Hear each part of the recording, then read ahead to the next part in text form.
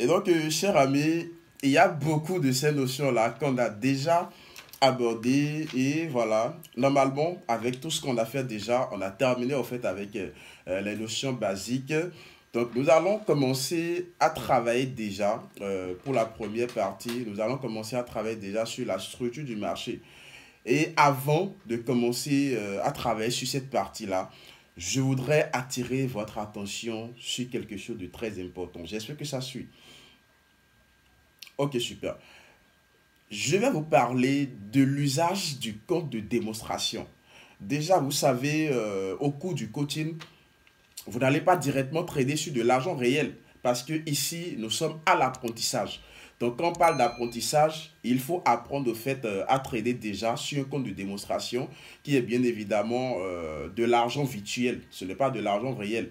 Donc, vous allez travailler sur ce compte-là. Ce n'est pas de l'argent que vous déposez. Et quand vous effectuez des bénéfices, vous ne pouvez pas les retirer non plus.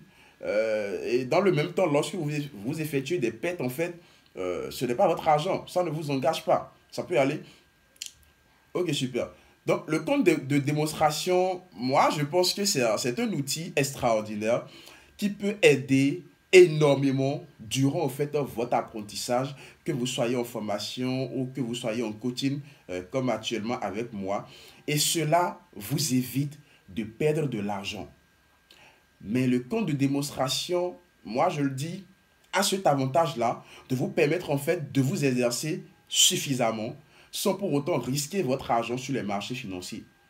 Mais le désavantage, ou je dirais plutôt l'inconvénient avec le compte de démonstration, c'est que ça peut vous faire prendre certaines mauvaises habitudes qui risquent en fait de, de vous perturber ou bien qui risquent d'agir négativement lorsque vous allez passer sur le compte réel. On le dit très souvent, euh, l'habitude est une seconde nature.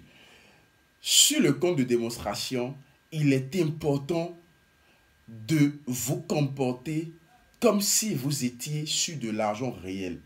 Je sais que c'est compliqué, mais c'est un exercice au fait, un, grand exercice que vous devez faire en tant que trader euh, amateur. Vous devez vous comporter sur votre compte de démonstration comme si vous étiez en train de créditer, de, de trader de l'argent réel. Vous devez éviter de prendre les mauvaises habitudes. Généralement, euh, l'esprit humain vous fera retenir au fait les gains tout en occultant les pertes. Et vous allez remarquer, je sais que vous avez déjà eu à trader déjà un sur des comptes démo parce que vous êtes quand même amateur, vous avez déjà suivi une formation.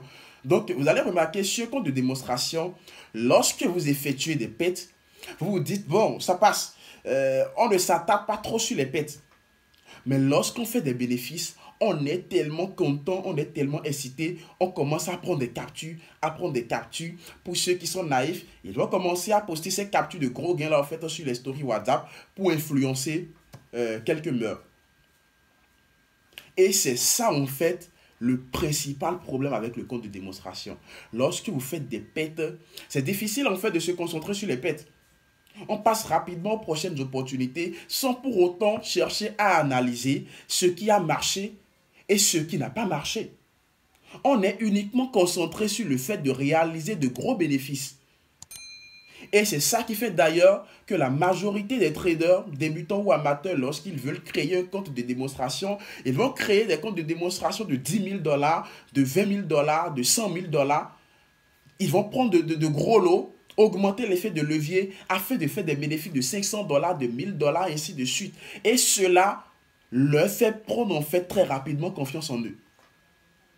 Et c'est pour ça que je vous, dirais, je vous disais euh, depuis le début, je vous avais demandé, voilà, pour le compte de démonstration, vous allez créer un compte de démonstration chez le broker euh, Josh Forest de préférence. Je vais vous envoyer le lien euh, à la fin sur Discord. Vous allez créer votre compte de démonstration chez Josh Forest. Chez Josh Forest, pourquoi? Parce que les comptes de démo chez Josh Forest, c'est à vous-même de fixer le montant en capital. C'est-à-dire, chez Josh Soros, vous pouvez avoir un compte de démonstration de 200 dollars, un compte de démonstration de 50 dollars, un compte de démonstration de 500 dollars. En fait, c'est à vous de fixer le montant, le capital du compte de démonstration en tenant bien évidemment compte de vos moyens. Et c'est en ça que je, je dis, vous devez choisir un montant en démo que vous déposeriez vraiment si vous étiez en réel. Donc vous devez en fait... Euh, euh, vous devez analyser vos moyens financiers. Ok, euh, je suis, je, je, je suis euh, je, je, suis tel, tel, je fais telle, telle activité qui me permet, qui me rapporte tel, tel chiffre d'affaires ou bien je gagne tel salaire à la fin du mois. Ok, d'accord. À la fin de ma formation, je suis en mesure de créditer un compte réel de 200 dollars. À la fin de ma formation, je suis en mesure de créditer un compte réel de 100 dollars à la fin de ma formation, non, moi je suis en mesure de créditer un compte, de, un compte réel pardon, de 500 dollars. Et c'est en fonction de ce montant que je suis prêt à déposer sur mon compte réel que je vais maintenant choisir le capital du compte démo. C'est très important ce que je suis en train de dire. Donc, si vous savez que au moment de passer en réel, vous êtes en mesure de créditer un compte de 200 dollars, alors vous créez un compte démo de 200 dollars. Et ça, il y a le broker Joshua qui vous permet de le faire. Je pense que généralement, sur les autres brokers, euh, les montants de compte de démonstration sont fixés. Bon, en tout cas, pour les brokers que moi, j'ai déjà essayé, c'est seulement le euh, Joshua qui propose euh, cet avantage-là. Par exemple, si vous allez sur Derive, Derive vous crée directement un compte de démonstration de 10 000 dollars. Et là, vous commencez à faire du n'importe quoi. Et l'autre encore méthode au fait qu'on peut exploiter sur ces gens de brokers-là, c'est que lorsque le broker lui-même, il vous donne un compte de 10 000 dollars, vous-même, vous pouvez au fait euh, faire chuter ce compte-là jusqu'au montant que vous voulez. C'est-à-dire, le broker vous crédite, euh, vous donne un compte de démonstration de 10 000 dollars. Vous prenez des positions avec des gros lots, histoire de chuter le compte jusqu'à 500 dollars, par exemple, si c'est 500 dollars, vous voulez. Et lorsque le chute compte à 500 dollars, vous reprenez maintenant le travail proprement dit. Mais le problème avec ça, c'est que euh, si vous ne savez pas faire, vous pouvez rapidement cramer le compte de démonstration. Euh, est-ce que ça peut aller? Est-ce que ça peut aller, cher ami? Ok, super. Donc, il faut savoir en fait que la recherche d'adrénaline pour essayer euh, voilà, de, de, trader tout simplement comme ça en utilisant les leviers et les lots importants à la recherche de gros gains, bien évidemment, vous incitera à passer plus vite en argent réel. Et là, vous risquez de tomber de haut. C'est pour ça la majorité des, des coachs, en fait, vont vous dire, même chez, les, traders, les traders amateurs professionnels, ils vous diront, lorsque vous vous lancez dans une carrière de trader, vous allez prendre forcément par l'étape de cramage. Parce qu'on sait que tous les traders débutants, pour la majorité quand même, agissent de manière émotionnelle sur les marchés financiers. Et donc, ils seront pressés de passer en réel. Ils seront pressés de gagner beaucoup d'argent ils ne vont pas respecter la gestion de risque, le money management, tout ce qui va avec, et ils vont cramer leur compte. Donc c'est très très important. Vous devez vous comporter avec le compte démo comme si c'était un compte réel. Que le compte démo ne vous fasse pas prendre trop confiance en vous. Je suis en train de vous dicter ces règles-là parce que je sais que d'ici la semaine prochaine, vous allez commencer à travailler sur le compte de démonstration, néanmoins avec voilà, euh, les premières notions en analyse technique que nous allons commencer à aborder. C'est pour ça que je vous dis, au fait, ces règles-là. Est-ce que ça peut aller? Ok, super. Si vous avez des questions, vous pouvez garder les questions pour la fin. Je vais y répondre à la fin. Donc, euh, euh, généralement, il y a autre aspect aussi que j'ai oublié. L'autre aspect que j'ai oublié, c'est que lorsque il y a certaines personnes, lorsqu'ils prennent des positions sur le compte de démonstration, ils oublient en fait qu'ils ont pris une position sur le compte. C'est-à-dire, ils vont acheter l'euro USD, mais vu que ce n'est pas leur argent, ils vont oublier qu'ils ont acheté l'euro USD. Et peut-être qu'ils n'ont même pas placé de stop loss ni de tes profits. Et ils vont revenir deux jours après, euh, c'est-à-dire, voilà, ils reviennent deux jours après sur le MetaTrader et ils remarquent que ah, la position sur l'euro USD est en train de faire 500 dollars. Ils vont capturer, tiens, ah, je suis trop bon. J'ai pris une position qui a fait 500 dollars. En fait, quand je vois des gens comme ça, moi, ça me fait rigoler. Ça me fait rigoler dans ce sens que j'ai pris par là également. Mais le truc, en fait, c'est que lorsque vous tradez sur votre argent réel, il y a très peu de traders qui peuvent prendre une position et revenir deux jours après vérifier. Même déjà pour un amateur qui a, qui a peur de perdre au fait dans ses débuts, il est pressé de, de, consulter très rapidement son MetaTrader. Il y a même des gens, ils sont dans le MetaTrader. En fait, ils ouvrent le MetaTrader chaque 3 minutes, chaque 5 minutes. Parce que c'est de l'argent réel qui est en jeu. Donc, petite pète comme ça, ils vont couper. Tcha. Mais sur démo, on est prêt à laisser couler. Et ça, c'est les inconvénients en fait du compte démo.